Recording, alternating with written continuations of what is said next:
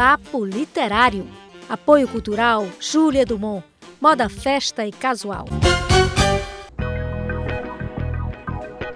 Olá! Começa agora a sua revista eletrônica voltada para a literatura, aqui na TVC, o Papo Literário.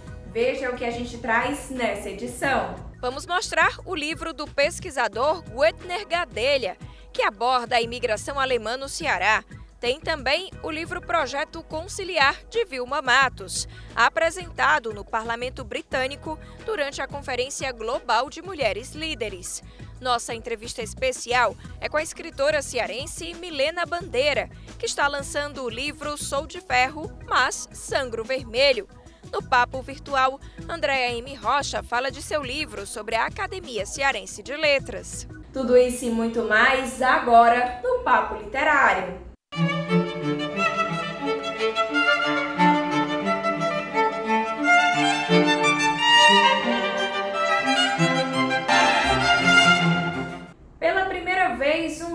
Livro de uma autora do Ceará foi apresentado na Conferência Global de Mulheres Líderes no Parlamento Britânico. Veja como foi a participação da cearense Vilma Matos em Londres.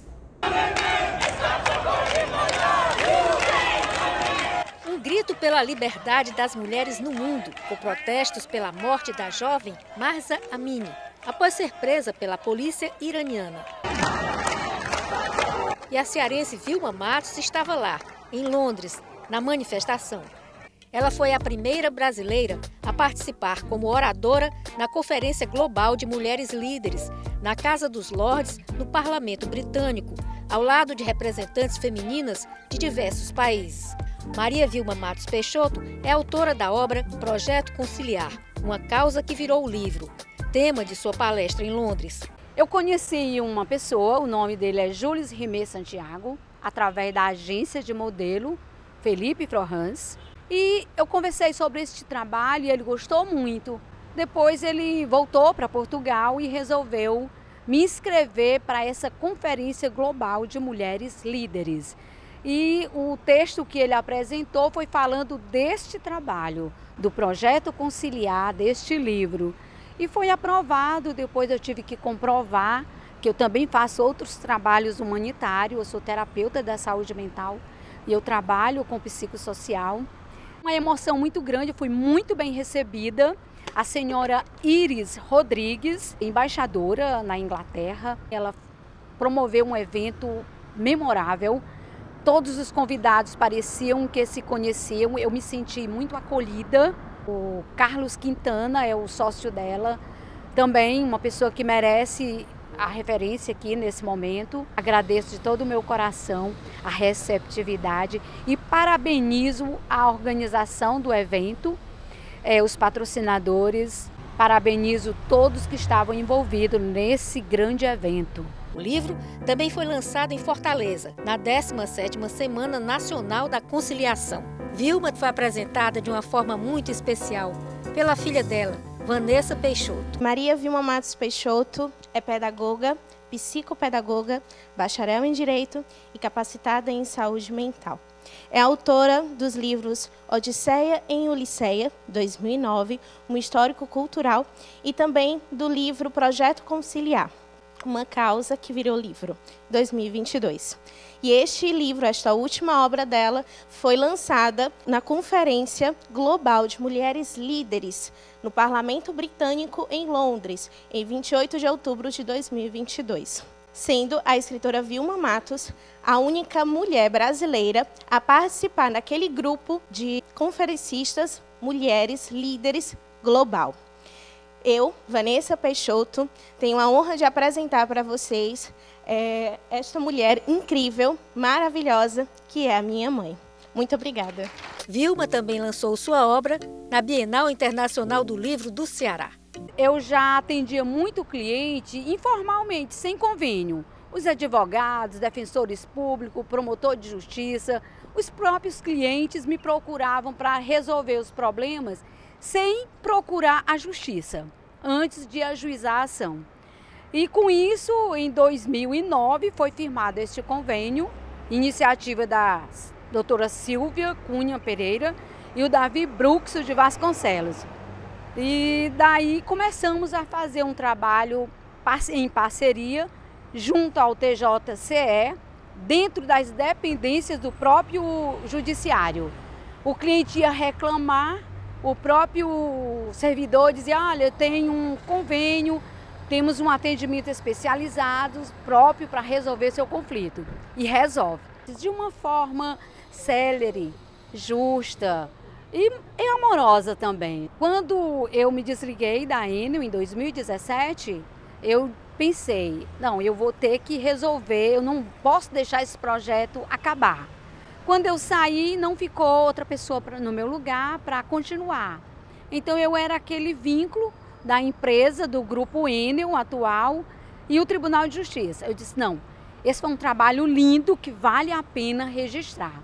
Aí eu resolvi escrever o livro, tive todo o apoio do Tribunal de Justiça, os juizados por onde nós tínhamos o convênio, todos colaboraram, esse trabalho foi feito por mim, mas para todos e por todos. Quem lê este livro, ele tem uma linguagem de fácil acesso, é, de fácil compreensão, porque teve leitura de duas pessoas que não eram da área do direito, foi Arlene Portelada, ela nós até denominamos de litero judice, e o Bernivaldo Carneiro. Então é isso, é uma linguagem clara, fácil, simples, não tem aqueles marabalismo que as pessoas do poder judiciário, os advogados, os juristas utilizam. Tem uma linguagem bem clara e é um livro que instrui a coletividade.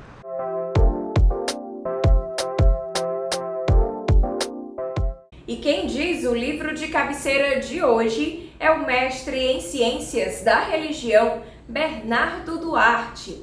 Confira a dica literária dele.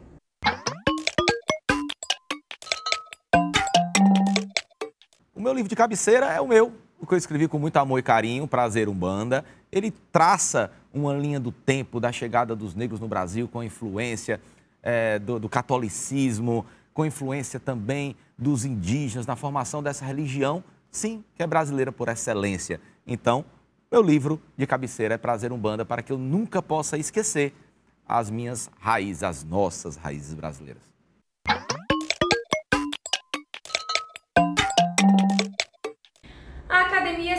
De Letras é a mais antiga do Brasil.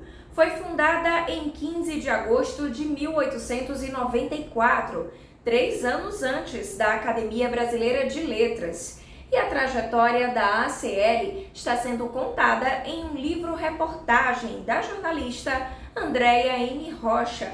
A autora fala da obra no Papo Virtual de hoje.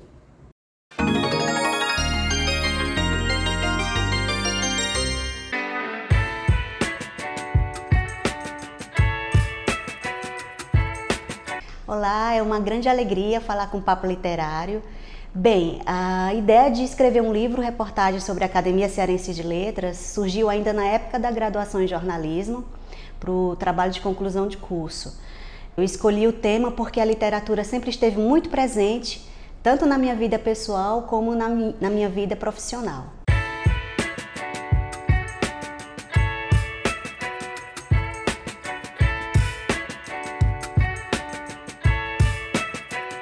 Eu escolhi publicar essa obra no formato digital para alcançar um tipo diferente de público.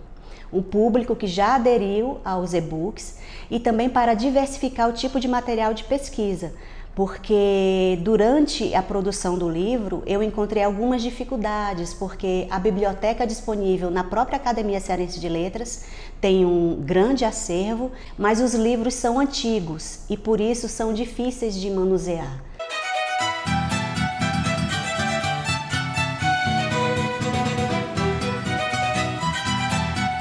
Essa obra é importante para a promoção e consolidação da arte literária do nosso estado, até porque o nosso estado ele foi pioneiro na fundação de uma entidade literária no Brasil, ou seja, ele criou uma academia de letras antes mesmo da Academia Brasileira de Letras. Então eu acredito que a obra ela pode ajudar na consolidação tanto da arte como da cultura cearense.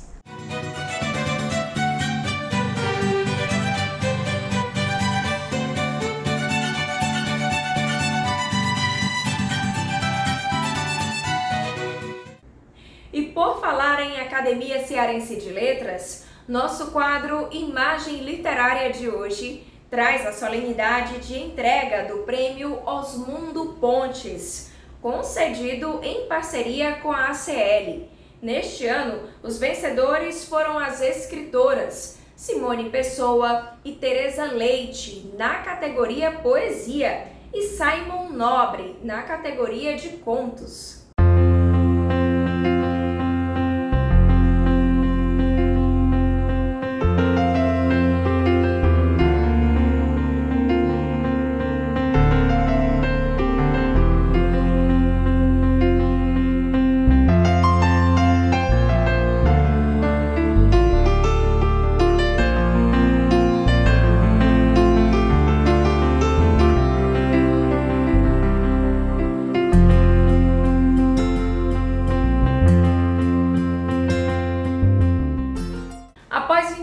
Você assiste a uma entrevista especial com Milena Bandeira, que está lançando o livro Sou de Ferro, mas Sangro Vermelho. É já já!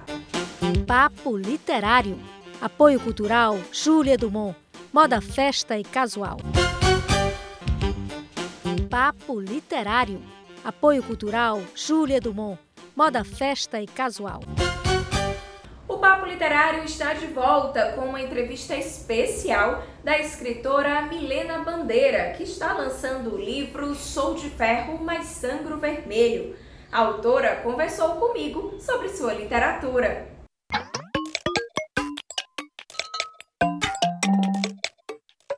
Estou aqui com a Milena Bandeira, formada em letras, escritora, que está lançando esse livro aqui, ó, Sou de Ferro, mas Sangro Vermelho. A gente vai bater um papo com ela, porque esse não é o seu único livro de poesias, né, Milena? Mas vamos falar primeiro do Sou de Ferro, mas Sangro Vermelho. Como é que foi a produção desse teu livro? Então, é, esse livro ele ficou pronto no começo de 2020, porém pandemia, né? E aí é, eu até enviei para um concurso em Recife, mas não fui contemplada. E de lá para cá, nesses últimos dois anos e meio, eu fui alterando alguns poemas, tanto alterando os que já estavam, retirando outros. É, inicialmente o livro contava com 120 poemas, nesse agora ficou pronto com 94 poemas. E daí eu decidi, não, quero publicar, porque eu já estou escrevendo o próximo que é de crônicas. O próximo é a minha estreia nas crônicas. E aí eu quero lançar no fim do ano que vem. E eu, eu disse, eu quero tirar da gaveta esse aqui. A minha amiga Natália Chimendes, que foi quem fez uma revista em quadrinhos comigo em 2017, fez a capa, que está belíssima. Eu levei para a expressão gráfica. E o Mauro, uma pessoa maravilhosa lá, deu o maior apoio e viabilizou tudo para mim. E tem a diagramação do Léo de Oliveira, que também é poeta, então ele captou muito o que eu queria do livro. E aí, fala também dessa questão do desejo feminino, né, do ser mulher, dos obstáculos, das dificuldades e também das conquistas das mulheres. Sim, fala. O livro fala de, de muitos sentimentos, mas eu vivi um relacionamento abusivo, tóxico, durante dois anos e meio, do qual foi muito difícil sair, mas eu saí. E foi a partir dali que eu consegui com, começar assim, a me recompor. Por isso que eu também revi alguns dos poemas que estavam no livro inicial, lá em 2020. Porque quando eu saí desse relacionamento foi em março de 2020, e isso fez com que eu também tomasse um pouco de volta a minha vida para mim. E o vermelho, eu acho que ele tem essa simbologia, às vezes, muito conectada a, coisas que não são boas, mas eu discordo. É, para mim, me lembra paixão, me lembra amor, me lembra força. E aí, é, o, o Sou de Ferro. Nós mulheres estamos sempre é, sendo confrontadas com essa coisa de ter que ser guerreira. Isso é uma coisa recorrente nos nossos dias. E eu acho importante que a gente tenha a ciência de que, mesmo sendo de ferro, por dentro a gente ainda é de carne, sangue, coração, que pulsa. E é, é isso. Sou de ferro, mas sangue vermelho é basicamente a gente tá todo o tempo sendo forte, é, mas nunca esquecendo que tem tem muita vida ainda pulsante dentro.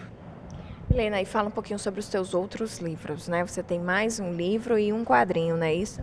Isso, eu lancei Mil Borboletas no Estômago em 2014, um livro também de poesia que passou um bom tempo na gaveta, esse bem mais do que esse último, porque eu tinha passado por algumas tragédias pessoais que acabaram adiando um pouco esse sonho da, de ter o primeiro livro, livro publicado. Eu já tinha participado de uma coletânea quando eu tinha 18 anos, lá na minha cidade natal, Limoeiro do Norte. E também tinha feito uma experimentação poética quando eu tinha uns 15 anos. Então eu estava muito ansiosa em ter o primeiro livro, mas ele só foi possível em 2014, quando eu finalmente saí de um luto e passei e foi assim, e para mim a borboleta ela tem essa simbologia do renascimento, da transformação. Por isso, Mil Borboletas no Estômago. Depois, em 2017, veio a revista em quadrinhos. E a revista em quadrinhos, ela foi feita com, de microdiálogos entre a minha filha e mim, e foi ilustrada pela Natália Ximenes, que é, foi a pessoa que fez a capa desse Sou de Ferro, mas Sangro Vermelho. E depois disso, também teve esse ato, por causa da pandemia também, que não colaborou. E agora estou lançando Jogando no Mundo, Sou de Ferro, mais Sangro Vermelho. Está sendo muito bem recebido e eu estou muito feliz com com isso que está tocando as pessoas. As pessoas estão realmente é, se conectando com os meus versos. Isso é o que importa, né? Milena, e onde adquirir? Né? O livro foi lançado recente, mas como é que as pessoas fazem para ter acesso a ele? Por enquanto, comigo através do link na minha bio no Instagram, que é milbandeira, M-I-L, bandeira, que é o meu apelido, Mil. E lá você fala diretamente comigo e a gente resolve tudo. Ok, obrigada pela sua participação aqui no Papo Literário. Espero que o livro inspire também outras mulheres.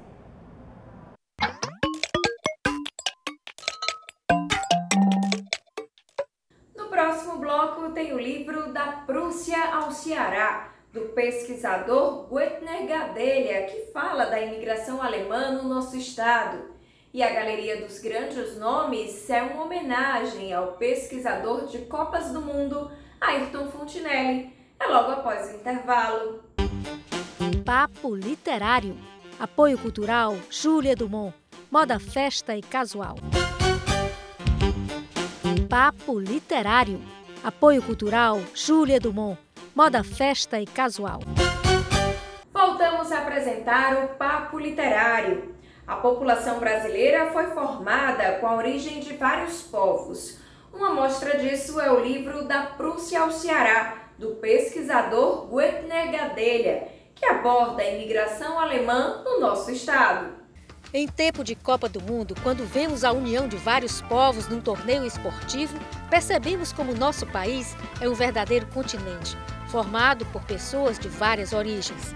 Além de Portugal e África, são muitos os imigrantes que compõem nossas famílias. Guetner Gadelha Witzbeck, por exemplo, sempre se interessou por sua origem alemã. Desde criança eu tenho interesse fazer árvore genealógica, descobrir quem veio de onde, e isso eu fui melhorando com o tempo, a gente vai crescendo, vai melhorando também a, a forma de pesquisar.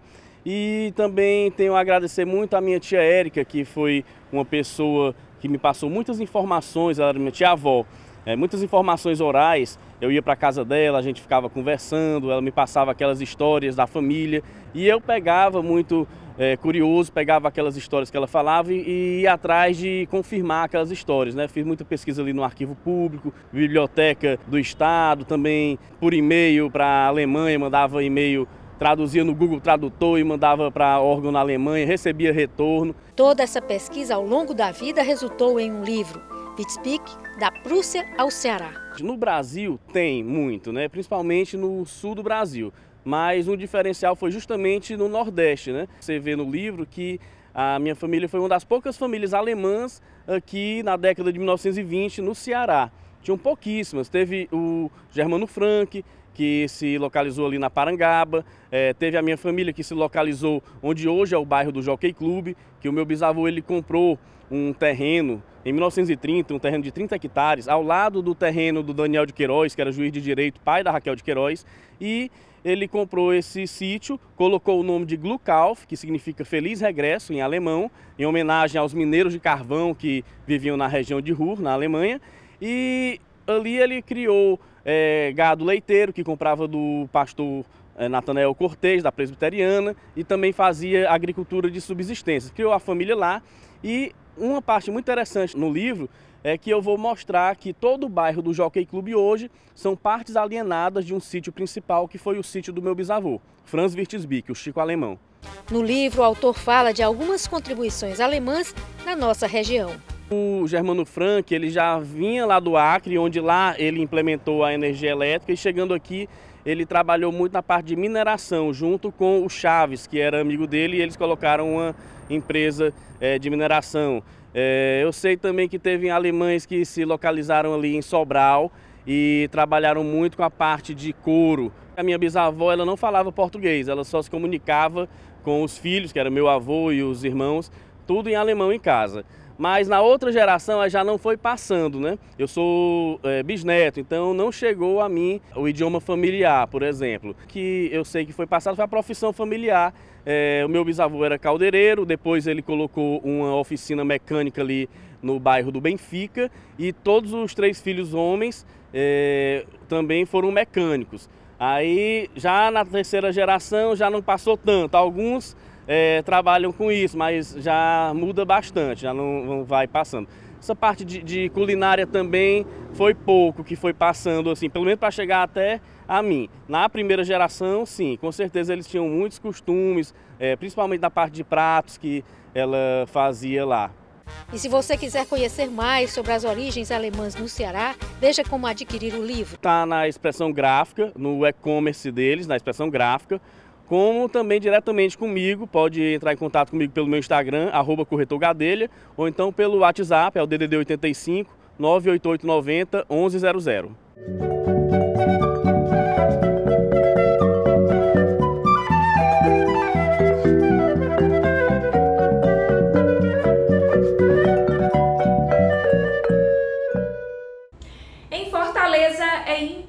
Impossível falar de Copa do Mundo e não lembrar do pesquisador Ayrton Fontinelli. Por várias vezes ele participou do Papo Literário. Hoje, nossa galeria dos grandes nomes presta uma homenagem a ele. Ayrton Fontinelli nasceu em Viçosa do Ceará. Foi bancário de profissão mas ficou famoso mesmo como um dos maiores pesquisadores do futebol e uma das principais fontes da imprensa esportiva em se tratando de curiosidades da história futebolística. Era o melhor exemplo do amor que o brasileiro tem por esse esporte, tanto que montou em sua própria casa um museu sobre o futebol. Minha filha Elizabeth, que colabora muito comigo, praticamente ela que está assumindo a, o comando da Sala João Saldanha, é, esse livro é encontrado em várias livrarias. Né? Tem também a página no Facebook, né? Exato. Quem quiser pode procurar na, na página também, fazer encomenda, né? É, essa parte de venda eu deixei mesmo com ela, né? Ayrton Fontinelli escreveu nove livros que falam da história do futebol mundial brasileiro e cearense, dos jogos das Copas do Mundo, da atuação da seleção brasileira e que traziam também muitas informações interessantes o pesquisador tinha sempre uma boa história para contar e uma memória invejável. Desde 1986 que eu lancei, esse é o, é o nono livro, né? Acompanhamos a Copa do Mundo desde 1938. Aliás, não gostava de futebol, mas meu saudoso irmão Zé Cândido, ele me levou para ouvir na casa, na residência. O dia, ainda me lembro até a data, 5 de junho de 38 o Brasil ganhava da Polônia 6 a 5, um jogo que foi decidido na prorrogação. Aliás, por coincidência, esse jogo da, da seleção foi o que teve mais gol do Brasil em Copa do Mundo, 11 gols, né? O apito final da vida de Ayrton Fontinelli foi aos 92 anos de idade, deixando três filhos, um belo acervo cultural e muitas saudades.